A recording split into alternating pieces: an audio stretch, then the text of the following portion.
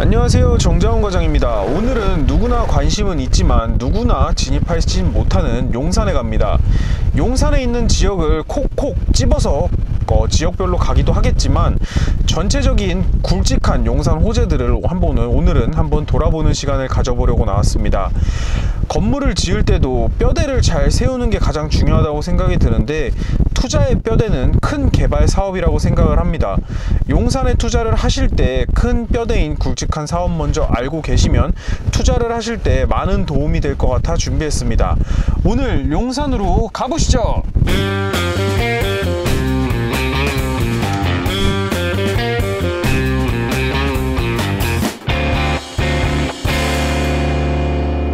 네, 저는 지금 서울역 근처에 나와 있습니다. 지금 보시는 것처럼 저기 철도가 저렇게 있고 그 위쪽에 지금 있습니다. 서울역은 어, 1974년 8월 15일 종로선이 개통이 되었는데 종로선은 현재 서울역부터 청량리역을 잇는 우리나라 최초의 지하철이라고 합니다.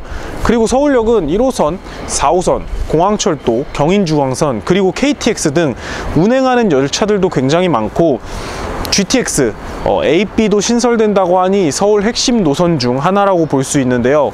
또 서울역 인근에 지금 개발 중인 곳이 있는데 거기 가기 전에 여러분들한테 보여드리려고 여기 왔고 서울역이 좀 핵심 역이잖아요. 역들이 굉장히 많다 보니까 직장이 많아요. 그러니까 일자리가 진짜 많으니까 지금 점심 먹으러 가는 직장인들 많고 어 저도 빨리 저도 직장인이잖아요. 이거 촬영 끝내고 점심 먹으러 가보도록 하겠습니다. 일단 뒤쪽에 서울역 북부역세권 개발 진행되고 있다고 하니까요. 거기 현장으로 가보겠습니다.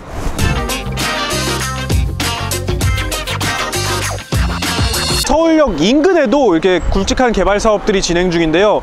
그 중에서 가장 굵직한 서울역 북부 역세권이 핵심 개발이라고 보여지는데 이곳은 현재 어, 개발 진행될 곳인데 현재는 공터로 있지만 이곳에는 강북의 코엑스라고 불리는 개발이 이루어집니다.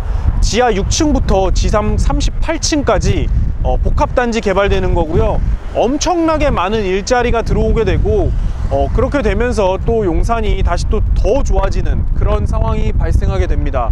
잠깐 여기서 기억할 건 집값은 일자리와 교통이 핵심이고 또 입지가 핵심입니다.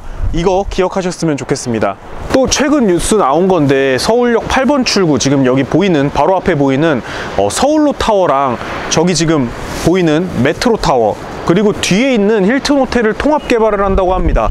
힐튼 호텔은 과거 국가부도인 IMF 때 협상 때 사용한 호텔이고 힐튼 호텔은 40년 역사가 있는 곳이다 보니 보존 관련돼서 말이 많았지만 결국 허물어, 허물고 지어지는 것 같습니다.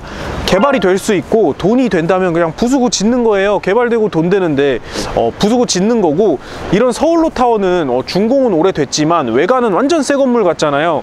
이런 건물도 다 부수고 짓습니다. 돈이 되면 부수고 짓는다. 이것만 기억하시면 될 것 같습니다.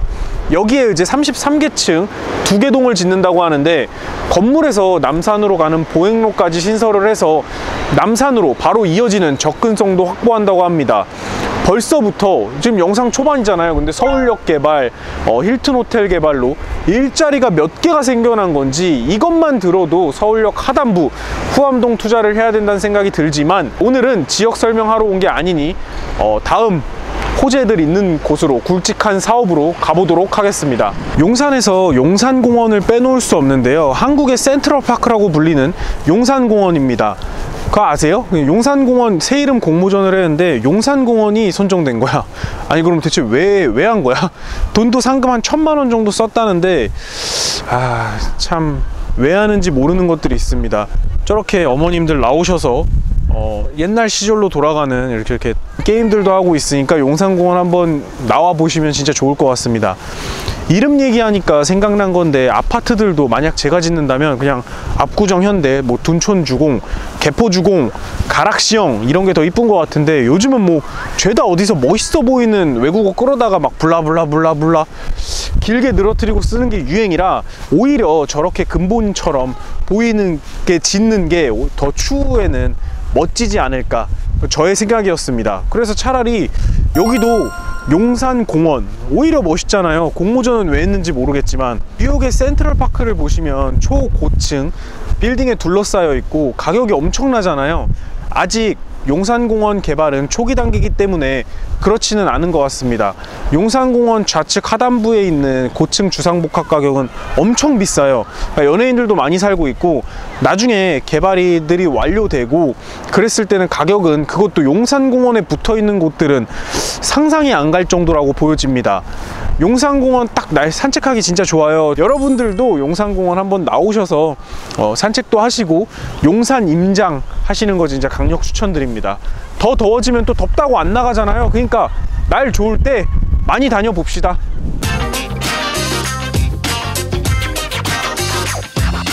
오늘의 마지막 용산의 굵은 사업 중 하나인 곳에 왔는데요. 일자리로는 가장 굵죠. 그러니까 바로 용산국제업무지구 현장입니다. 지금 이곳이 용산 국제업무 현장 지금 공사하려고 하는 곳이고요. 용산에서도 어, 용산 국제업무지구는 삼도심, 광화문, 여의도, 강남에 굉장히 중요한 사업으로 알려져 있습니다. 이곳은 용적률 1700% 정도 그리고 높이 100층 이상으로 해서 용산의 랜드마크 아니 서울의 랜드마크로 만든다는 것이 현재의 내용입니다. 부지가 약 49만 5천 제곱미터로 뉴욕의 복합개발지인 허드슨 야드 4.4배 여의도 공원이 두 배에 달하는 면적이라는데 엄청난 면적이라고 합니다. 일자리 고용 효과도 약 15만 명 정도의 효과가 나온다고 하니 진짜 말도 안 되는 어, 파급 효과라고 보여지고 용산에서 가장 큰 사업이라고 볼 수 있습니다. 과거에 이곳이 2007년에도 진행하다가 어, 13년 자금 부족 문제로 금융위기로 지정이 해제가 되었고 그동안 빙 땅으로 이렇게 지금 방치를 했는데 최근에 다시 추진한다고 하니 기존 문제되었던 것들을 보완돼서 나올 것으로 예상이 됩니다. 아마 어떻게든 완성시키려고 할 것이 보여지고요. 국제업무지구 바로 위쪽은 용산 전자상가가 있는데요. 과거에는 용산 전자상가에서 물건을 사기도 하고 그랬지만 인터넷 발달 과 이제 중국 제품들이 가격 경쟁이 워낙 상대가 안 되잖아요. 그래서 전부 다 망하고 문 거의 다 닫고 있지만 워낙 입지가 좋아서 개발 진행한다고 합니다. 예전에 막 그런 거 있었잖아요. 막 비싸게 후려 팔고 눈탱이 치고 막 형들한테 끌려가고 막 그땐 그랬다고 하는데 그런 곳이 사라집니다. 그리고 용산의 메타밸리 뭐 AI 산업 위주로 거듭나게 된다고 하니 여기도 일자리 저기도 일자리 정말 많은 일자리가 생기게 되는 건데요. 앞으로 미래에는 3대 업무지구가 아닌 용산을 포함해서 4대 업무지구가 될 것 같아 보입니다.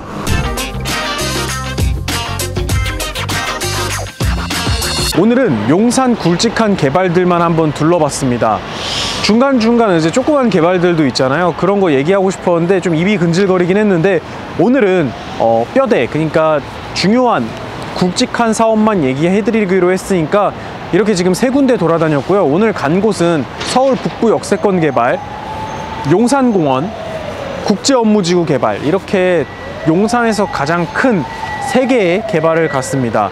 다음번에는 용산 이제 조금 조그만 개발들도 말씀드릴 테니까요. 오늘은 굵직한 사업에 대해서 알게 되셨으면 정말 다행이라고 생각이 듭니다.